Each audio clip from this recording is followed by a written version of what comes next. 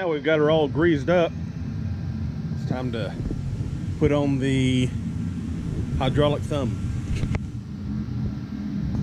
I'm gonna spray these bolts down with some WD-40 and let them set just to make it a little easier to get the nuts off. And I just realized that I missed a grease fitting, but because of how it's recessed, I can't get a socket on it. So I'm to use a little trick my dad taught me, flathead screwdriver and a hammer.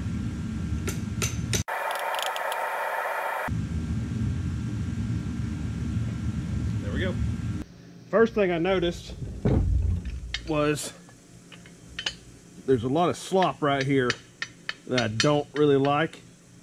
So I went to the store and got two one inch washers that we're gonna put right in there.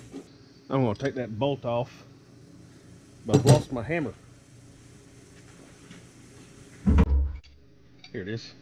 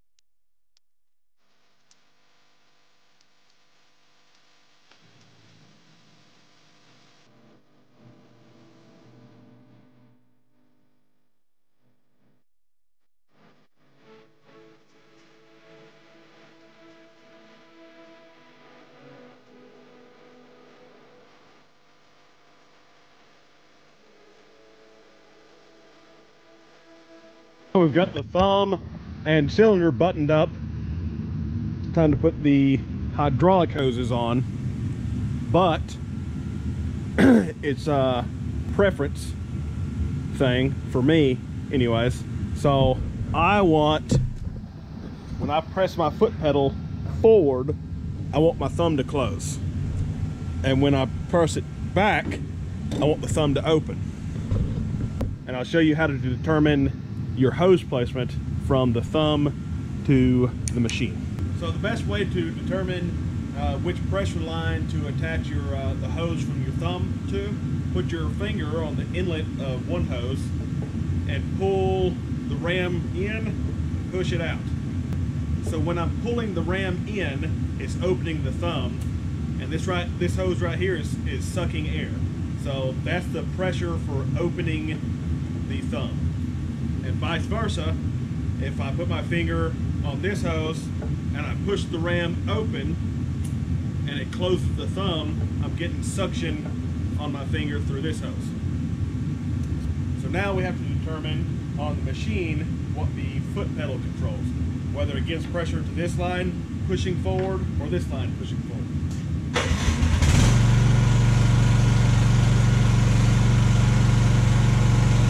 So if you feel on both the lines, my hands are big enough to reach reach both lines.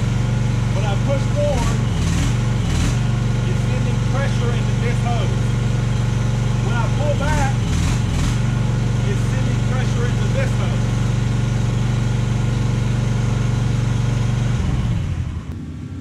So we've determined that pushing forward sends pressure into this hose, and if we want the forward to close the thumb, then we need it to be on this hose. Also, I should mention, uh, before you hook up the hoses up, make sure you get all the air out of this cylinder so you don't get air in your lines. So just pull that all the way up, and that pushes all the air out. And uh, you can you can tie this thumb up so it doesn't sink in, but it's not going to sink all that much. So you're not going to get that much air in the lines anyways. And then we'll bleed them uh, when we first turn on the machine anyways. And make sure you relieve the pressure off the hydraulic hoses before removing the retaining caps because those hoses are pressurized after testing. and as you unscrew the retaining caps, the caps will go flying and has the potential of messing up your threads. Now we have the hoses attached. I'm gonna crack this line just a little bit to uh, bleed any stuck air uh, out of the line.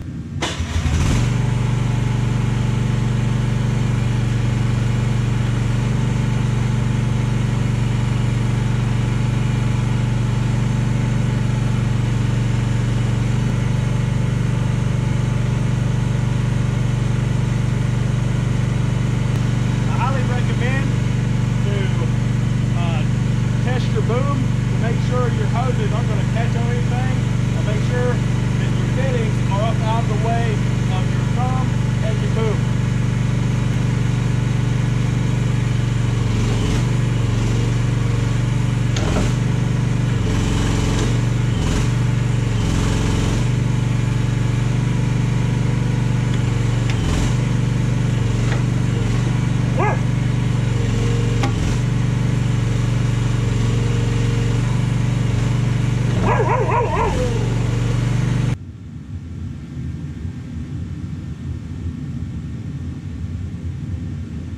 Looks like everything's good to go and I don't see any leaks. So the thumb is successfully on.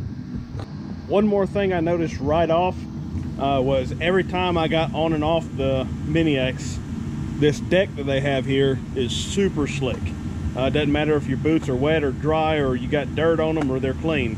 Uh, you're gonna slip and slide all over the place. So I went to uh, Tractor Supply and got some uh, non-skid tape and I'm going to install that on the uh, on the floor here to help with getting on and off and not busting my butt when I do. Make sure you clean it real good, get all the, the loose dirt off, and then I'm going to go back over it with with some denatured alcohol. Uh, it's used great for cleaning stuff. Then I'll install the tape. That sums it up for the hydraulic thumb portion of the video and uh, non-skid tape. Please like, share, comment below, and subscribe to my YouTube channel. More videos to follow. Uh, now let's take it outside and put it to the test, taking down a medium to small size tree. All right, something a little bit bigger than a sapling.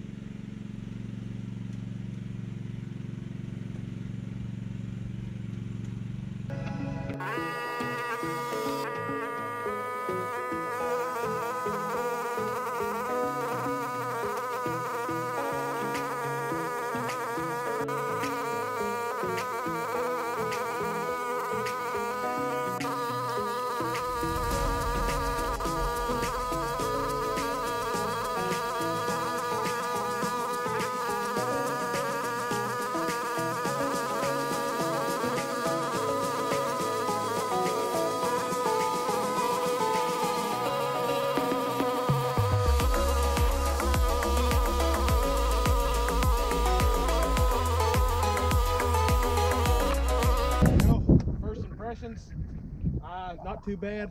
A little jumpy back and forth. Uh, took down a uh, 10 inch tree. Uh, took 22 minutes, but it had a massive taproot. I didn't realize it had a taproot. I'm not a tree guy, so I can't tell you what kind of tree it is. It was just a tree back here on the fence that needed to come down anyways.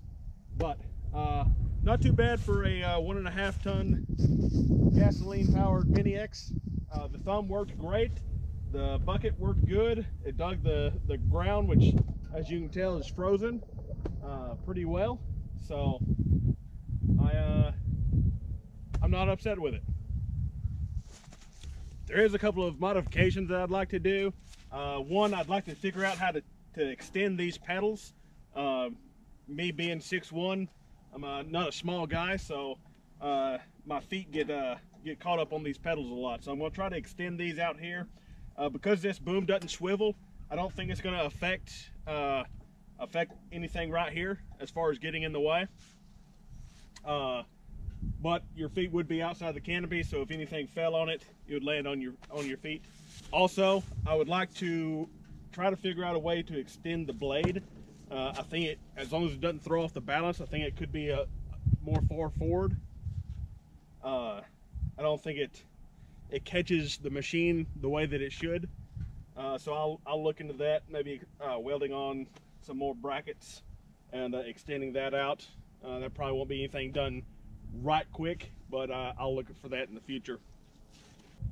Also, if anyone who has these machines uh, can think of any other modifications that I could do to make this a little bit more effective, then uh, then hit me up. Uh, message me or, or leave me a comment in the section below. Uh, I do plan on doing a few more of these videos. Uh, please like, share, follow, and if you uh, have any modifications that you'd like me to, to see me do on my machine, let me know and I'll, uh, I'll see if I can't do that too.